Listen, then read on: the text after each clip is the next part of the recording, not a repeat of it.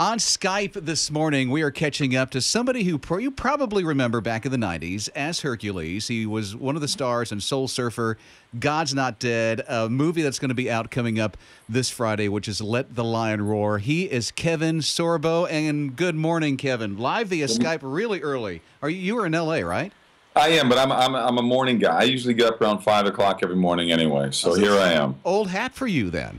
Yeah, you know what? I, I grew up in Minnesota. I started a paper out when I was only like nine years old. Did it for seven years, and you know, getting up six mornings a week at 4:30 every morning in the beautiful winters of Minnesota. I'm I'm I'm a morning guy now. Were you like on the bike? Did you deliver papers on the bike? I deliver on a bike. I'd have 80 papers on this little bike with a basket in the back, and I'd be out there with that sound of your wheels against the crunchy ice and snow. Oh, that is so crazy. Good times. We did a little stalking of your Facebook page.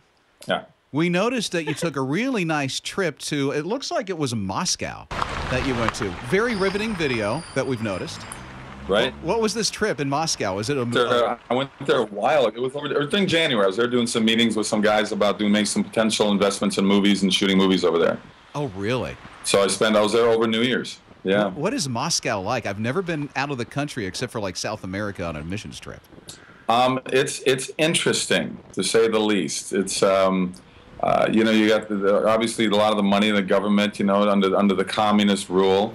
Uh, they were, uh, you know, all the money pretty much went to the government buildings. So you, you can you can kind of you can kind of see that as you walk around. But it was uh, it was very interesting. It was one of those bucket list things. You know, I always wanted to go. I always wanted to see it and just and see you know the people and see how they live their lives. And there's, I mean, there is a stark difference between America and Russia. There certainly certainly is. You can feel it. I'm sure there's a far difference between that and Hawaii, where it seems like you became a fan of a certain kind of tea. What, what would you? I can't even pronounce it. Is that Mama Kai? How do you say that? Mom, Mamaki, Mama Key tea. I'm not I'm not a caffeine guy at all, and this is a company that uh, actually a friend of mine owns. And I am hooked on this tea. I take it every every morning. I drink it, and actually I haven't had my cup yet.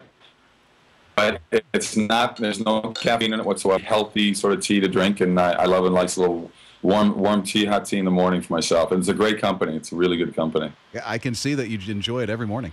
Are you MamaKey.com. MamaKey.com. Look at that. so? Are you against caffeine, Kevin? Is this? Can we not you be know, friends? It, it, but it affects me more. I don't drink coffee. I don't drink sodas. Uh, it just I don't like the way I don't like the jittery. It just I don't need it. I'm jittery enough the way it is. Hercules met, is it Serena back in the day? Um, yeah, she um, every two weeks they sent down a, uh, a beautiful woman for me to work with. It was a great dating service for a single guy. I guess so. And Um, it, Serena is is a part of your life now. Is that right? Yeah, uh, she was Sam Jenkins back then. She's Sam Sorbo now. We uh, it was sort of a love at first sight thing between both of us, and I got engaged within six months and uh, married a year after that. And even that whole year and a half, I don't think we saw each other more than more than five or six months. You know, so because I was always on the road shooting and uh, with Hercules down in New Zealand, she came down and actually did they did and then she back and played this character for uh, three more episodes. So that was like that six weeks together sort of solidified our relationship. And now it's been 16 years of marriage and we got three kids. Yeah. The the wedding looks beautiful, by the way. We found a couple of pictures on when you two got married. Yeah, we got a beautiful little church in uh, Pacific Palisades overlooking the ocean. It only holds 40 people. We invited just 28 of our friends and family, and all 28 showed up. And it was uh, it was it was a wonderful January day. And January in Los Angeles means you know 72 degrees. Isn't that nice? Yeah. And then here you are with three children later. Looks like you have a beautiful family. Braeden, Braeden is my oldest now. Braeden is is just turned 13, so that picture is a little bit older. Oh, and uh, Shane is now 10, and my little girl Octavia is eight. Yeah, I love the personality of your family too because you, you get kind of wild right here. Oh, they're you know they're they're such good kids. We homeschool them, so we get them around here with us all the time, and uh, it's just uh, it's just fun. They, they're they're good kids. I, I see a little theme going here too because when I take a look at Braeden, Braeden's got some kind of he grew a mustache real early in life. Oh, yeah. Uh, your your daughter as well. She she kind of grew. Uh, yeah, she grew a mustache. You know, I think I was getting really scruffy for a western around that time. so, Yeah, so they wanted to see, you know, what, what maybe a mustache would look like on them. So it was, Um, you know, they're nuts. I can't believe you found these pictures. Yeah, and they kind of there's a resemblance, a small resemblance, maybe in the family of Tom Selleck. I, yes. I, I was kind of we're taking a look at Tom Selleck. Allison thought differently though. Yeah. Well, Tom, Tom is actually a friend. He lives. He doesn't live too far from where I live. We're about 40 miles north of Los Angeles, between LA and Santa Barbara. Is so he still rocking the mustache? Um, well, yeah, he's on. You know, he's on that show um, Blue Bloods now. They're shooting. Um, That's right. They're shooting, so, uh, New York City. And uh, you know who else just showed up with a new mustache is Alex Trebek on the uh, premiere of uh, Jeopardy. Oh my gosh! Had Didn't, it for many years, and now he has it again. But it's getting mixed reviews, Kevin. I don't know well, what you sh- think. He shaved it for a while, right? Yeah, he shaved it, and now it's back. No, it's back. You know, I, I did this show. I did a Celebrity Jeopardy um, back. I don't know, 2001, 2002 um, in Vegas. They had a full, they had like 2,000 people in the room, and it was raising money for each of our individual charities. It was good fun. Soul Surfer, what was it like shooting in Hawaii a film about faith like that? You know, I, I, I remember hearing the story about Bethany years ago, and um, I remember it made me angry. I go, you know, I mean, I know it's it's like getting struck by lightning, a shark attack. I mean, it's very random and very strange and very rare. but I remember saying, you know, she's just a 13 year old kid. You know, it's like like the shark knows any different. But um, I remember hearing the story, and then they called me up and said, "Hey, do you want to play the part of uh, Dennis Quaid's best friend? It's the guy you, you, the one you're the one who saves her in the movie." And so I got to meet the real life hero and hear his story, and it's really incredible. And two months in the North Shore of Hawaii didn't didn't suck either. That was a pretty nice little gig. Oh yeah. And uh, and you know, really, since Bethany's movie. So Anna Robb, who played Bethany, had to be in the movie the pretty much the whole time. And Dennis Quaid and I had pretty much four days off every week over the two months. So we did a lot of golfing together. So it was it was a good gig that way. But the movie is it's amazing. It's an amazing story of a woman that a young a girl. Uh, that gets attacked by shark at age 13, loses her arm, and what does she do? She says, "Well, this is what God wanted for me to get out and spread His, spread His word." And I don't know how many people, certainly how many adults, would react that way to losing an arm. Then you step into your role in God's Not Dead, which I thought was brilliant, by the way.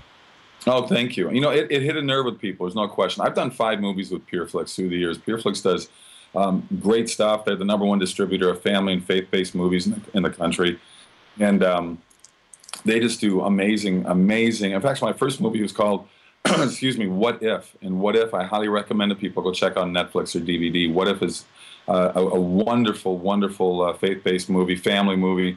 Uh, it's got Debby Ryan plays my daughter, Kristy Swanson's my wife, John Ratzenberger plays an angel that comes down to show how much I've screwed up my life. And but along came God's Not Dead, and they said, you, you know, it might be a little controversial. I said, what movie isn't controversial? You can't please everyone. You're always going to get somebody upset about something in our little politically correct world right now. So um, I didn't worry about it, and I really based the character off of people I've seen on TV. These atheists so angry and so uh, just it, it, it's just amazing what just oozes out of them their veins just stick on their neck uh, and they get so mad about something they don't believe in which i've never really quite understood you know i don't believe in broccoli knock yourself out you know broccoli doesn't exist no it doesn't exist i don't i'm not forming groups about it and complaining about nativity scenes to be taken down because apparently things they don't believe in offends them one thing I like about God's Not Dead is that there wasn't this big, uh, mushy, happy ending. I mean, your character passes away at the end of the film.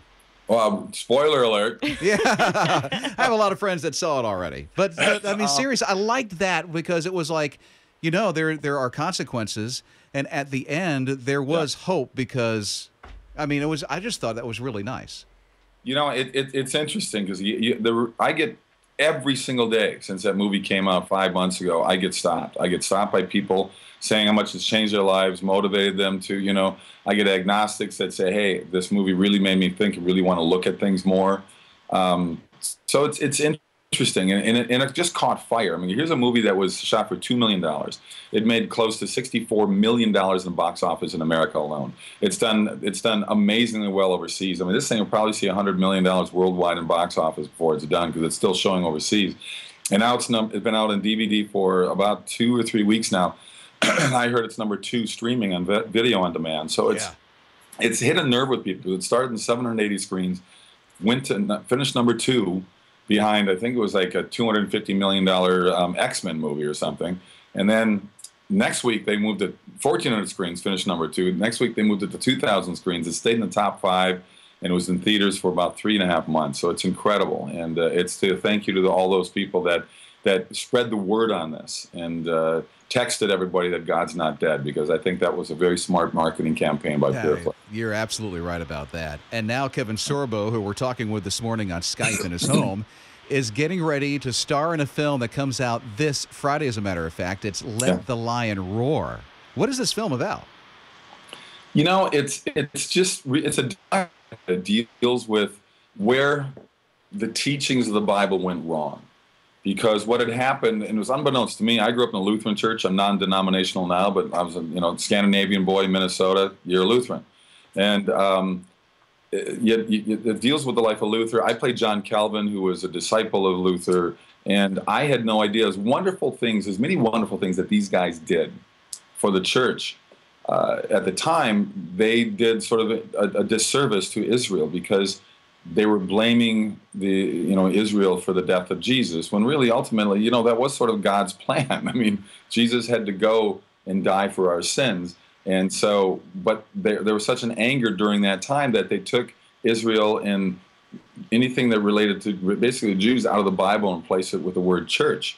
And this is really a documentary with so many actors involved and covers so many different centuries uh, that shows where the Bible came from, where it went wrong, how it needs to get back on track to explain to people, um, you know, where the teachings of the Bible need to be rectified. Let the Lion Roar it comes out this Friday. Uh, Kevin Sorbo, we do appreciate your time this morning. Oh, thank you. And you know what? You can't you can't take away my five years in Andromeda. I know I was talking about Hercules, but I'm a big Gene Roddenberry fan, and I did five years on Andromeda, so I don't want to discount 80, 80 hour weeks for five five years. Well, there you go.